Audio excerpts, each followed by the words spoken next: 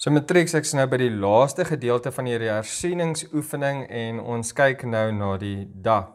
So ek begin altyd met dak met 'n paar daknotas. Laat ek net gou my notas hier kry. Nou hierdie is 'n lys wat ek elke keer vir my maak om te sê en jy kan maar hierdie lys kan jy ook neerskryf. Ehm um, so die eerste ene daarso is die muurplaat en die rede hoekom ek die muurplaat eerste gesit het is want daar waar die muur ophou op my um antwoordstel. Dit is waar ek die dak gaan begin en ek begin hom op 'n muurplaat. So, laat ek net daai streep hier so donker inteken sodat jy kan sien. Ek het hom in die vorige afdeling het ek hom daar net afgemerk en hy is met ander woorde 114 soos wat dit aangedui is. So ek kan nou gaan en op hierdie lysie kan ek al my afmetings ook vooraf gaan inskryf hierso om seker te maak dat ek presies weet as ek so deur my lysie werk wat daar gaan. So hierdie lysie kan jy vir jou memoriseer en jy kan hom in die eksamen gou neerskryf en jy kan hom gebruik. So stap 1 hierso is my muurplaat. So die muurplaat het ek gesê is 114 en die al hierdie inligting word hierso gegee. So daarso is die muurplaat.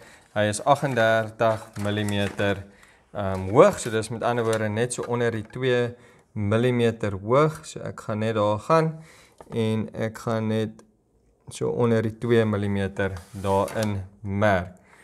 Nou nadat ek dit gemerk het, gaan trek ek hierso sommer 'n lyn. En die rede hoekom ek dit doen is omdat op my muurplaat kom my dakkappe. So nou kan ek hierso die muurplaat gaan inteken.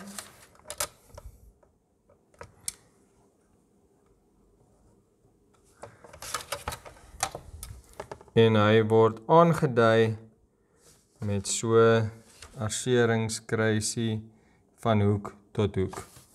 Ag, oh, daai is nou lelik geteken. In elk geval, so daai is my muurplaat wat ek dan nou hier aangedui het. So, soos ek gesê het, bo op my muurplaat gaan ek my dak ehm um, kappe kappe teken en voor ek dit kan teken, moet ek eers die dakhelling bereken. So die dakhelling word vir my gegee en dit eh, word gesê daarso dit is 20 grade hierso onder die daknotas. So ek gaan my gradeboog nodig hê om hierdie helling dan ook in te teken. Nou ek het 'n klein gradeboog hierso en waar ek hom wil sit is presies op daai hoek daar waar die muurplaat en die muur bymekaar kom. So ek plaas hom daar op daai hoek en ek meet dan van hierdie kant af 20 grade en daar is hy dan. Dan vat ek die lyn vanuit die hoek uit na daai merkie toe wat ek gemaak het en ek gaan teken hierso 'n konstruksielyn in en dit gee dan vir my die dak helling as ook 'n lyn wat ek kan gebruik vir my dakkap. So die volgende stap is om te kyk na hoe groot is my dak kappe. So die dakkap, die inligting wat hulle vir my hierso gee is weer eens is 114 by 38, so dis 5,7 mm vir die uh hoogte daarso van die dakkappe wat ek moet gaan meet. So wat ek gaan doen is ek gaan sommer hierso aan die linkerkant bo op daai konstruksielyn wat ek op die muurplaat getrek het, gaan ek daarso 5,7 daar merk. En met dit kan ek gaan en ek kan my dakkap hier ook gaan inteken. Van daai skynslyn ek vat hom sommer reg deur want ons het vroeër gesê die muur kom tot by die dakkap en hy lê daar op die muurplaat ook. So dis een dakkap wat ek nou ingeteken het. So die volgende dakkap is hierdie ene wat teen hierdie helling lê.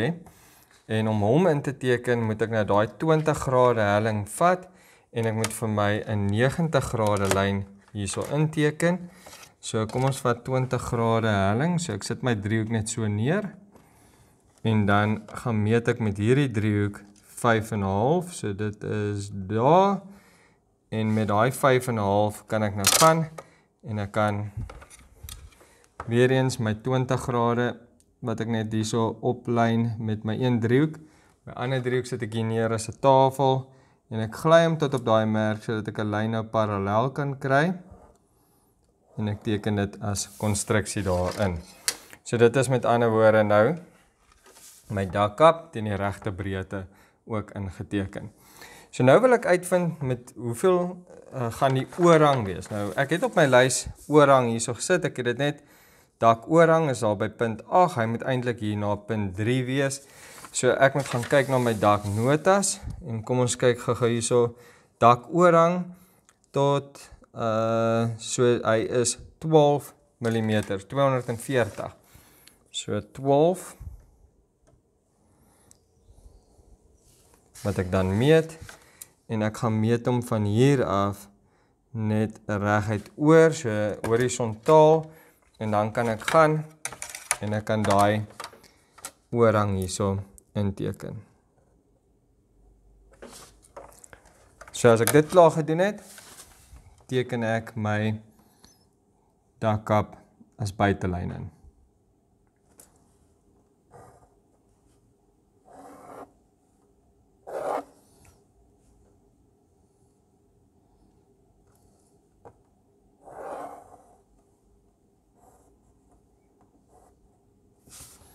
Reg en ek het my dakkap ingeteken en nou moet ek gaan kyk na hoe lyk die struktuur van die dakkap. So van hier af tot daar is dit gelyk gelyk gelyk gelyk. Okay, so dit skep nou vir my 'n probleem. Ek moet nou gaan meet hoe lank is my dak van een kant tot aan die ander kant sodat ek daai basies met ander woorde in 4 hierso kan deel. So as ek nou terug gaan hier na my vloerplan toe, het ek mos nou my dak het ek hierso ingemeet en as ek nou kyk hierso na my plan, dit is nie van die oorhang tot by die oorhang nie. Dit is met ander woorde van die binnekant van daai muur tot aan die binnekant van daai muur wat ek hom sal moet meet. So ek gaan nou gaan en ek gaan hierdie lengte hierso vat van die middel van die muur af tot die middel van die ander muur. Dit gaan meet ek dan. En ek sien hy is 'n 118. So 118 weer die sakrekenaar hierso kry. So 118 uh mal met 50 is gelyk aan 5900 gedeel deur 20 is gelyk aan Reg, en dan het ek 295, so 295 gedeel deur 4 want hy word in 4 gelyke dele verdeel. So dit is met ander woorde 73,7. So kom ons meet gou hierso 73,7 en ek moet nou kyk of ek hom wel hier gaan sien. So ek sien hy raak raak net net hierso aan die lyn daarso. So ek moet nou gaan en ek moet net hierso as dit van daar tot daar is, moet ek nou die middel so ek het sê hy's 5 en 'n half. So ek gaan so 'n stukkie van hom sien en dit is met ander woorde 2 om te 2 mm wat ek hier van hierdie dakkap hierso ook sal sien. En dit moet ek dan daar inteken. So nou dat ek hierdie dakkap hierso ingeteken het, is ek klaar met my dakkappe. Dan gaan ek na my volgende punt van my lys toe. So ek het dakkappe, volgende een is die plafonbord. Nou die plafonbord hardloop nou hierso aan die binnekant van my stoep en hy hardloop van daar af tot teen aan die muur en dan ook aan die binnekant van my woning gaan hy ook wees. Nou hy is 'n millimeter breed daar volgens die skaal, so ek teken hom in daarso en nou gaan ek sommer hierdie muur ook net hierso inteken. En aan hierdie kant ook inteken. So dan is daai muur ook ingeteken. So nou die volgende stap hierso is dan omdat ek 'n plafonbord het, moet ek plafon lat hê en dis die 5de punt op my lys. So ek gaan weer terug hierso na my uh plafonbord op 38 by 38 uh plafon latte. En hulle is ook 460 mm uitmekaar uit gespasieer. En dis met ander woorde 20 hierso. So ek gaan hierso begin met enetjie wat ek net hierso inteken, somme daar om die plafonbord hierso vas te hou en hy is met ander woorde net so onder die 2 mm breed. So daar's hy en ek teken hom in. En sy arsering hoe ek hom aandui is ook 'n kruis. So daar's hy ingeteken. So 20 mm uitmekaar uit, so ek vat weer my passer, merk 20 en ek merk hom hier van die middel af. So daar gaan die eerste ene wees. En daar gaan die volgende ene wees. En van hier af gaan ek ene net daarso inteken dat hy ook daar vas is. So dis 'n millimeter aan hierdie kant wat ek kom teken en 'n millimeter aan daai kant. Dieselfde hierso, 1 mm aan die kant en 'n millimeter aan daai kant en dan gaan ek ene hierso teken wat 2 mm uitmekaar uit is. En dit is dan my plafonlatte ook klaar geteken.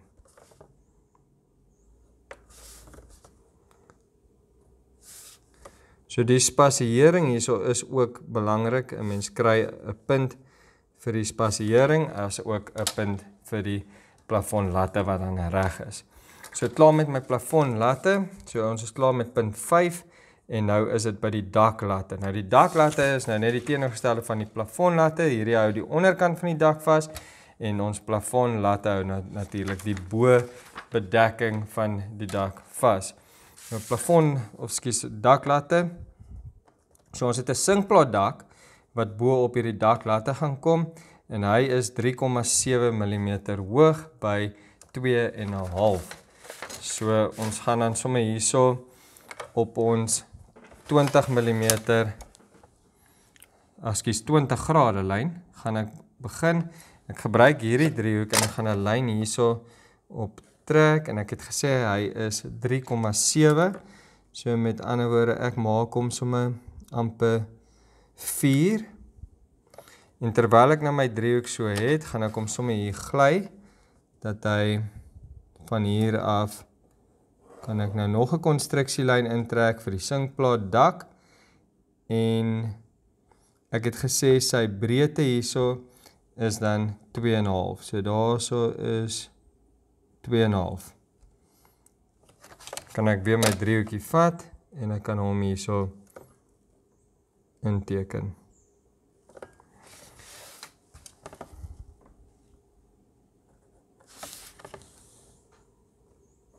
Nou ja, daarso is my ehm um, daklatte dan of die eerste een ingeteken. Hulle is weer eens uitmekaar uitgespasieer. So kom ons kyk gou-gou. Ehm um, sinkplaat daarso en hy's 53 mm 1060 53 mm uitmekaar uit gespasieer. So ons vat sommer hierso 53 en ek gaan meet hom hierso van die middel tot die middel daar.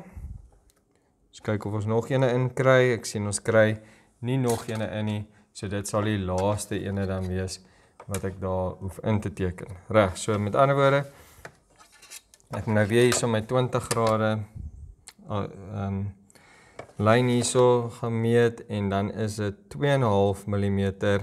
So dit is so een en 'n bietjie aan die een kant en een en 'n bietjie aan die ander kant. En dan as sit ek net sy arsering ook in, is 'n kruis. En dit gee dan vir my my ehm um, dak uh latte. Nou ja, so die volgende ene is dan om my sinkplaat in te teken. So ek gaan die sinkplaat hier inteken met net so 'n bietjie van 'n oorhang hierso, ehm um, dat hy oor die dak kan gaan en dan is sy ehm um, grootte hierso het ek gesien sinkplaat is 1,5 5, so 1 en 'n halwe millimeter hierso, so ek meet sommer daarin en weer eens moet ek die 20 grade helling hierso En hopelik as julle eksamen skryf kry julle 30 grade helling, dan hoef jy nie hierdie moeite te doen nie. So en dit teken ek dan ook hier in. Reg, so nou het ek my dakbedekking wat die singplaat was geteken, die oorhang het ek reeds gedoen. Die volgende ding is die fassie bord of die fassie plank. So die fassie plank gaan ek dan hierso teenoor my dak ehm um, dakkappe teken en die fassie plank is met ander woorde 10 mm 200. So ek meet hom sommer van daar af sien ek daai is 10 en hy is ek net sien hoe breed is hy hy is letterlik 1 mm breed so daar's as my fasieplank dan ook klaar geteken so dis nog 'n ding op my lys wat ek dan klaar het en dan begin ons kyk na die geet en die pyp nou hier waar ons die geet gaan teken met ander woorde hierso teenoor die stoepgedeelte. Daar is nie 'n afvoerpyp aan hierdie kant nie. Hy sit aan die linkerkant, so die snit kyk van hierdie kant af soontoe. So ons sien glad nie 'n afvoerpyp hierso teen die muur af gaan nie. So ek gaan net die geet wat teen in my fasieplank is, gaan ek inteken. So die geet se besonderhede is dan 7.5 by 5 as ek daai op skaal teken. So 7.5 gaan sy lengte wees en die 5 gaan hy hoog wees. So ek gaan sommer hierso in die middel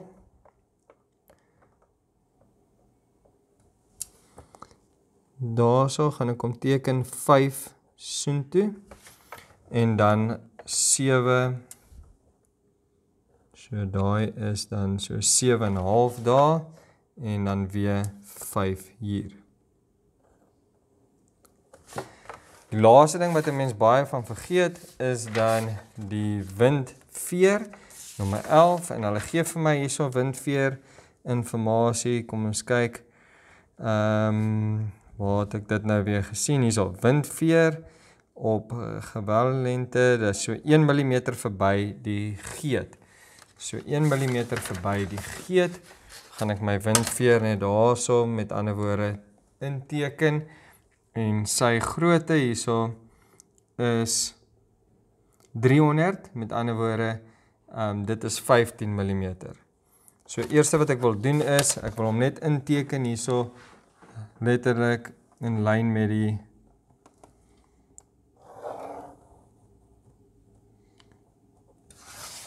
met die dak en dan het ons gesê hy is 15 so 1 mm weg van die geet af 15 mm.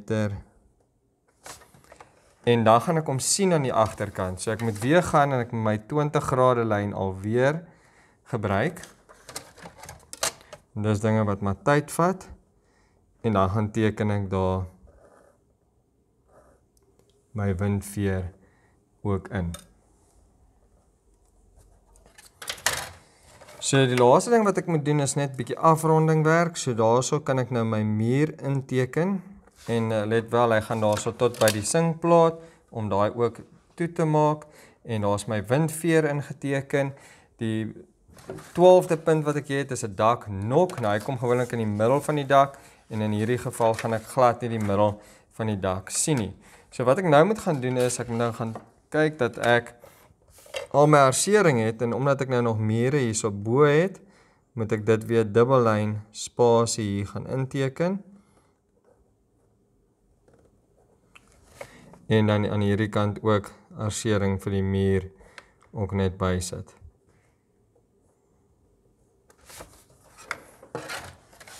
Nou ja, as ek al daai as ek daai lysie gebruik het om my dak te teken, maak dit net soveel makliker en ehm um, as ek weet waar om te begin, altyd op die muurplaat, weer eens maak dit net soveel makliker en behoort ek dan al my punte vir hierdie tekening ook dan te kry. So dit is aan ons einde van ons hersiening van ons vraestel 1 en die siviele plan En uh daar kan jy so 'n bietjie sien vloerplan, die snit teken het 'n gedeelte daarvan. Byskrifte is ingesit, fondasie tot die vloer tot by die dak en dan die dak waarmee baie mense ook soms sukkel. En dan het ons ook hierso die elevasie wat ons ingeteken het en daar's wel ietsie wat ek opgetel het toe ek hierdie snittekening teken en dit is hierdie binnehof opening wat dieselfde grootte hierso is as die ehm um, deur hierso van ons skuifdeur. So ek gaan terug aan hier na my wes elevasie toe en ek gaan daai lyne daar inteken. Dit is met ander woorde my ehm um, uh binnehof daar so daar gaan wel 'n muur wees op hom so ek moet hom ook aandui. En dan moet ek daai lyn aan die bokant wat ek dan net moet uitvee daar. Want hy gaan dan nou nie daar wees nie. En dieselfde aan daai kant ook. Nou ja, so dit is dan die klein foutjies wat 'n ou dalk maak, maar uh as jy so mooi deur die eksamen uh werk, behoort jy dit op te tel uit een van jou ander aansigte. Nou ja, ek wens julle alle sterkte toe met julle matriek eksamen en uh vra maar as daar enige vrae is. Lekker dag verder.